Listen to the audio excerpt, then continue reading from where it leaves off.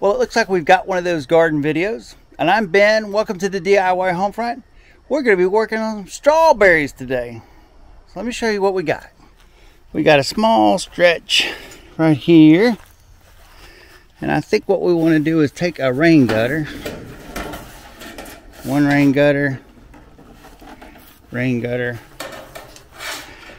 Right there. So we've got to build a support to hold the rain gutter we've got to do some modifications. For support, we'll use a 4x4 post, but we've got some unusual angles to deal with first. A weird angle right here. It's not it's not exactly 45 going across, so I'll need to mark that and cut it. I think eventually I want that to be the top. But unfortunately, the 4x4 I have for this project is too short, so that will have to be the bottom. But that's okay because it made it easier to find a way to mark that unusual angle. Now I just have to cut that and we should be good.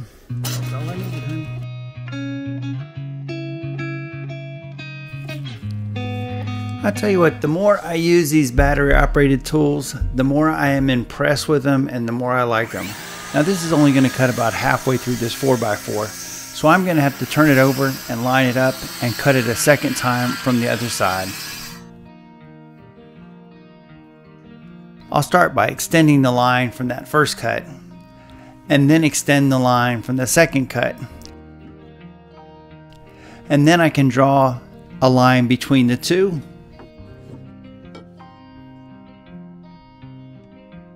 And this is the line that I'm actually going to need to cut with the saw to get my angle right.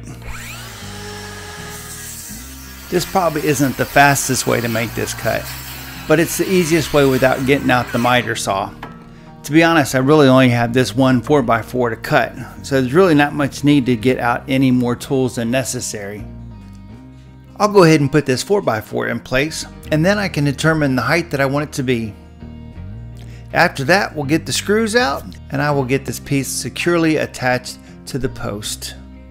I'll be using these construction screws that are designed to put ledger boards up against a house when you're building a deck. It will be more than strong enough to hold everything in place. But these construction screws do have a large diameter, so I'm going to drill a pilot hole so we don't split the wood. So if I tried to drill into the 4x4 at the angle that the screw is going to go in, it would want to slide down the wood. So I'll drill into the wood just a little bit and then I can turn the drill at the angle I need to to finish off the hole. These construction screws seem to do best if you put them in with an impact driver, so that's what I'll be using. And the tip I'm using came with the screws when I purchased them. Now I'm going to put two of these screws on each end of this post, so I'll go ahead and put the other screw here, and then I can move down to the other end and check to make sure that the post is level before I put in the other screw and secure it into place. Now that the post is marked, I can drill two more holes for my 10 inch construction screws.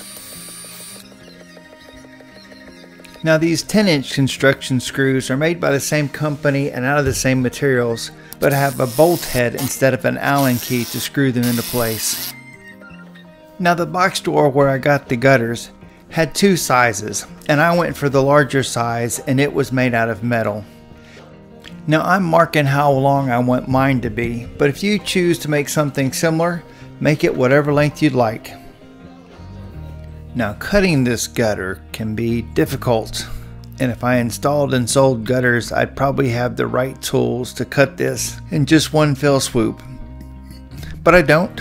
So I'm going to show you what I do. Before I can start cutting it, I need to know where to cut. So let's make a line all the way around this. I sort of work my way around the gutter with a square so I can try to make the best straight line I can. This section is the hardest to mark because the tin gutter has a curve to it. And then I'm going to get my tin snips and I'm going to do my best to cut this along that line. And now that it's marked, the only thing left to do is to try to cut it along that line. I'm sure there's somebody that cuts metal that's a lot better at this than I am. But this is the hat I'm wearing today, so this is the job we're doing. I was really struggling, so I decided I might be better off just hacking off the half of the gutter I'm not going to use and make it more manageable. Then I could fold the metal back to try to get a better cut or go at it from a different side. But eventually I got this cut.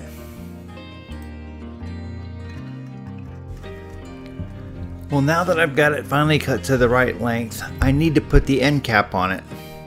And I chose to start on the end that had the factory edge because I just thought it would be a little easier. Well if you were using this gutter on your house, you'd want it to be watertight. So I'm sure the end caps would probably be siliconed in and they would be watertight but we're using this as a planter and it's okay if the water leaks out a little bit because we don't want the plants to be sitting in water. We want it to have some kind of drainage. So I'm just going to use a pair of pliers and I'm going to crimp the end and I'm going to make sure that it stays on that way. And I feel confident that this crimping technique is going to be more than adequate to hold these end caps on. The end that I cut with the tin snips was a lot more difficult to put the end cap on. I don't know if it was because the metal was jagged or that I had maybe bent it out of shape, but it was just not as easy to get the metal crimped.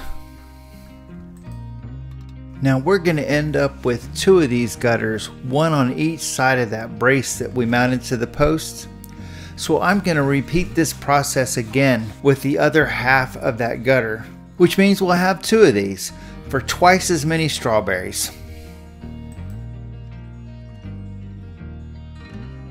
Well, the gutter is supported by these metal support braces, and those braces are supported by a long screw that ends up piercing the gutter and going into the wood.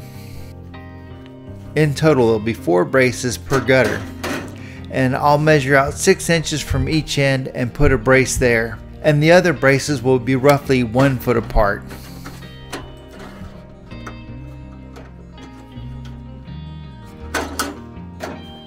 To make sure the braces stay where I want them, I'll go ahead and start the anchor screw and pierce the gutter with it. It's a really great way to keep the brace positioned where you want it. I'll go ahead and do the same thing for the other three braces.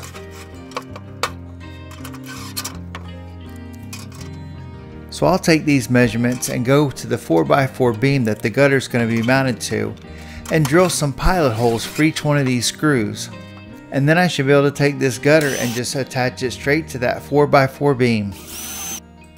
The fence won't be a problem at all. It'll just end up being sandwiched between the beam and the gutter. I'll get all these screws started into the beam before I go back and tighten them all down. And you want to be careful not to over tighten these screws when you're using an impact driver. It's easy to do.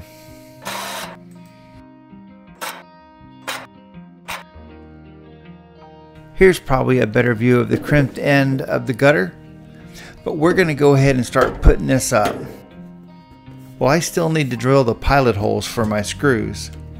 But another way you could locate those pilot holes would be to put the piece in place and start each one of the screws just a little bit and then you can back them off and you'll have a mark where the screw pierced the wood and you'll know where to drill your pilot holes. And here I am drilling those pilot holes out with a drill bit that's just a little bit smaller than the screws. And now I can attach the other gutter by screwing in the supports. And we now have some strawberry planters. Well, I'll give my wife a chance to plant some strawberries and we'll come back to these gutters. Check those out. They're working just fine, aren't they? You can't see it, but I drilled four holes into the bottom of the gutter and I did it in such a way that it wasn't at the bottom. So when it rains, there should be about a half an inch of water that stays in the bottom of the gutter which will hopefully keep the strawberries watered. Well, there you go. As far as I'm concerned, this project is complete. Thanks for watching. Like, subscribe, check out my playlist, and I'll see you in whatever video comes next.